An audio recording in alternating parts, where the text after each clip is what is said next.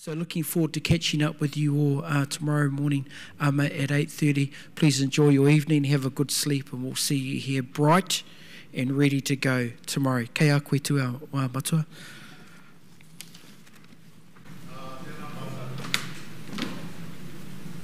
understand the present, you must understand the past. Those who cannot remember the past